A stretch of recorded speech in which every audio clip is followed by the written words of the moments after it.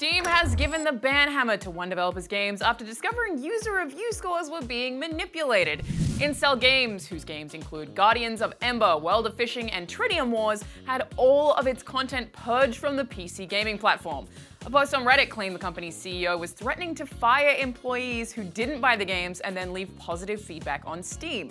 Valve investigated and said it discovered what it called unacceptable behavior involving multiple Steam accounts owned by the publisher. Valve said that behavior led it to sever its business relationship with Insel Games and remove its titles from Steam.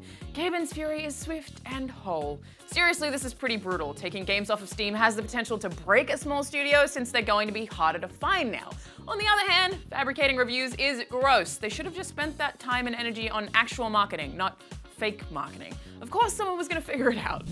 Ryan Murphy, the creator of Glee and American Horror Story, is getting paid, majorly paid as a matter of fact.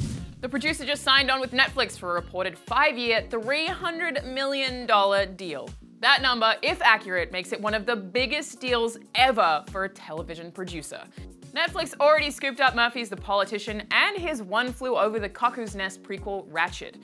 Also, his current FX programs won't be affected and will still air on the network. Murphy said, the history of this moment is not lost on me, noting that when he came to Hollywood from Indiana in 1989, he had $55 in his savings.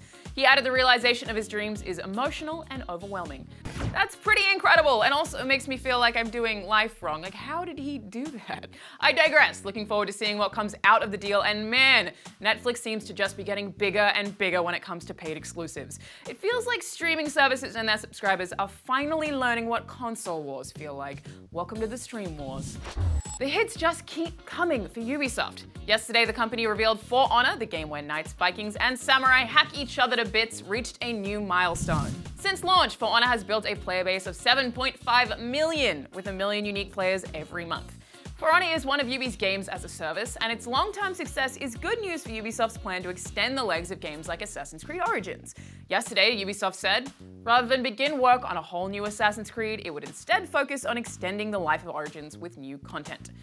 It's working well for For Honor, which released exactly one year ago today, as well as Ubisoft's other service games like Rainbow Six. Even Wildlands was pretty successful. It's crazy because I feel like I rarely hear about For Honor or Wildlands, but they have huge player bases.